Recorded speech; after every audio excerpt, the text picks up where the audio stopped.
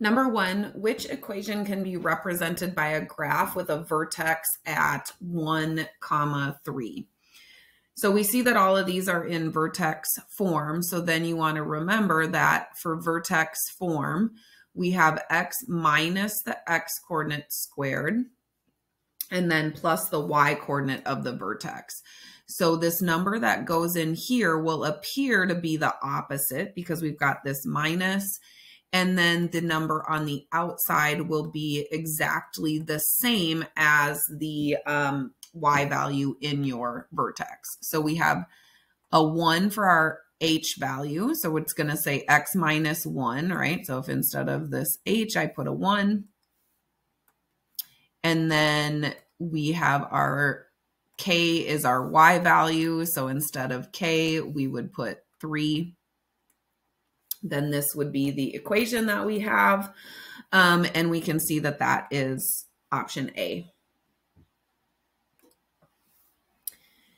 Number two, where is the vertex of the graph represented by um, this equation?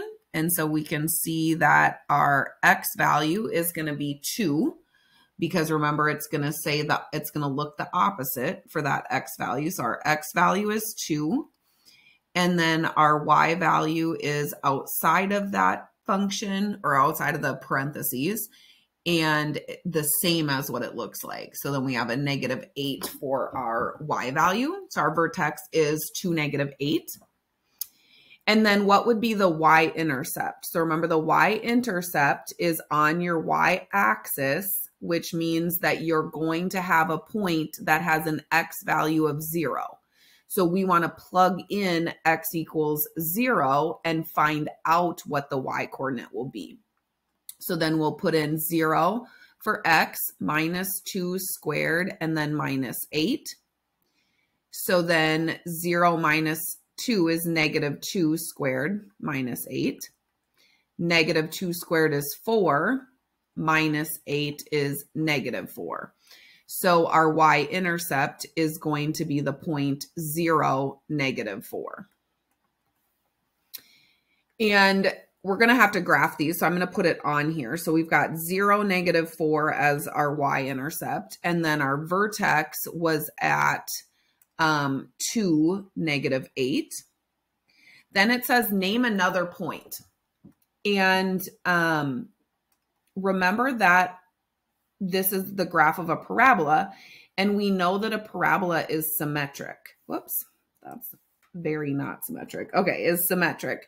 So there's this middle line, right? And we know that if we go the same distance this way as we go this way, it will give us the same point um, or the same height. So when we think about this down here, Okay, here's our vertex. If we go over from 2 to 0, we're at negative 4. So if I go to this way, I should also be at negative 4 so that these are aligned or symmetric. And so then we can just look at what that point would be, and that would be the point 4, negative 4 using your graph. So that's one way you can do it, okay? Is we know it's going to be symmetrical around the vertex. Another thing you can do is just plug in any value you want into this equation, right? So you could have plugged in anything you felt like because it just says give one other value. So if you wanted to go ahead and plug in um, one, you could, right? So you could go y equals 1 minus 2 squared minus 8 and calculate that. So 1 minus 2 is negative 1 squared is positive 1. So 1 minus 8 gives us negative 7. So we would know that this point was on there. So then at 1, we'd be at negative 7. Now, when you have to graph it, I would suggest doing the one that's symmetric because that'll help you get your branches on there, right? Doing just like we didn't have this one on here, we would only know this side, right? And then you want to get something over here to connect as well. But, and you can graph as many, or you can plug in as many points as you want. Number three, the function v is defined by this. Without graphing, determine the vertex of the graph. Um, representing V that and whether it shows a minimum or a maximum. Okay, so determine if the vertex of the graph is a minimum or a maximum. And this has to do with this value. So this is positive, meaning that your graph is going to open upward, which means your vertex is down here. And that means that it's a minimum.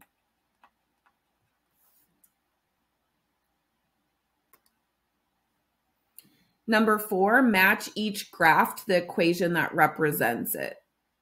So we've got all these graphs over here. Here's all the equations. So one thing I notice right away is these values that are negative. So I know that these two are going to be opening down, which means B and D. So B slash D are the ones that open downward. Um, so I can narrow down those graphs then I know because this one is a two and this one is a one third, this one is going to be narrower or skinnier than the other one. So that's going to be our B graph. Okay, downward and skinnier is going to be our B graph. So number one goes with B, which means that number four goes with D. That one third, okay, when it's less than one, when it's between zero and one is going to flatten it. So it's going to be flatter um, than a number bigger than one. Then you can see these ones. Okay, so two and three must be for um, the ones that open upward, right? So these are your AC graphs. And this one is at a six. So this is going to be the skinnier one or the narrower one. And so that's for graph C. So number three will be graph C and then graph A will be number two.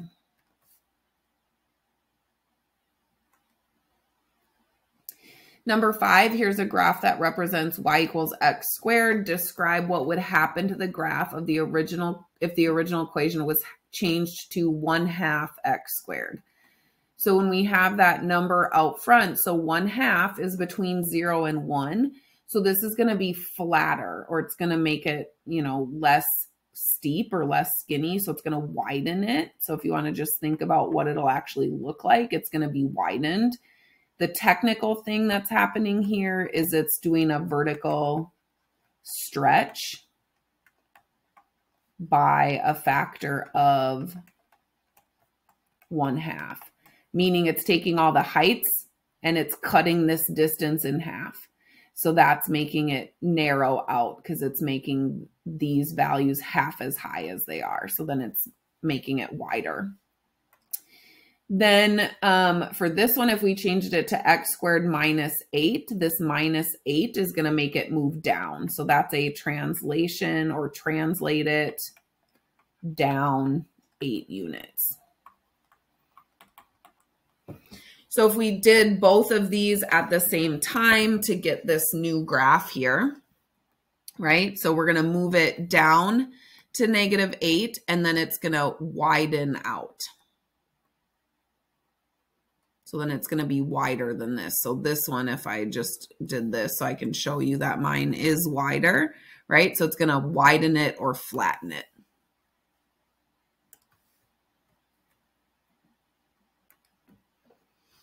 Number six, Claire throws a rock into a lake. The graph shows the rock's height above water in feet as a function of time in seconds. Select all statements that describe this situation. So the vertex is 0.7529, and that's true because when it's opening downward, the vertex is the maximum. The y-intercept of the graph is 2.1 comma 0. That's false because this is the x-axis. So this is the x-intercept, not the y-intercept. Um, Claire dropped the rock into the lake. So here's where it started, and the rock is going up to start. If she dropped it, it would just be like this. So this one is false the maximum height of the rock is about 20 feet. So the max height is at 20. No, the max height is 29. That's actually the initial height of the rock. So that's where it started at was 20 feet.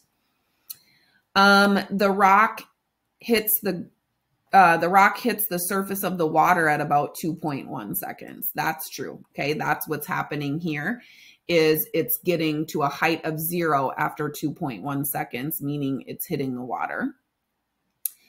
And then F, Claire tossed the rock up in the air from a height of 20 feet. This is true. So here's the starting position of the rock, and then it's getting thrown upward starting at 20 feet. So F would be true.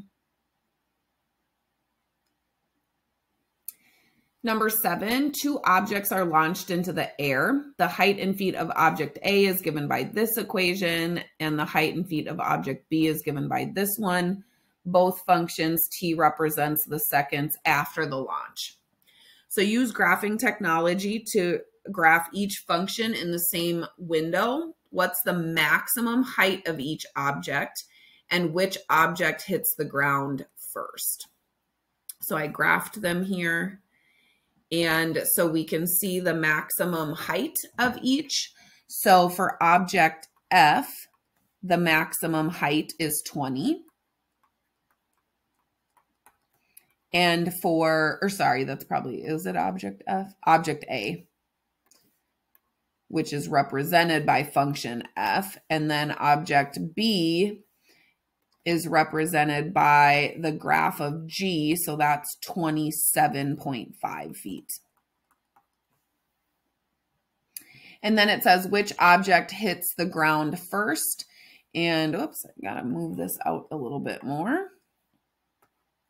So we can see where it hits the ground.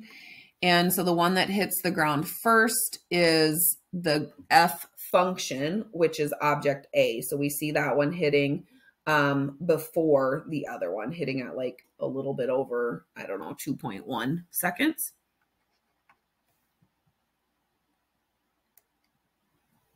Number eight, Andre thinks the vertex of the graph of this equation, x plus 2 squared minus 3 is 2 negative 3. And Lynn thinks the vertex is negative 2, 3. Do you agree with either of them? So remember, vertex form will look like this and your x coordinate of your vertex is h, and your y coordinate of your vertex is k. Okay, so our vertex is hk.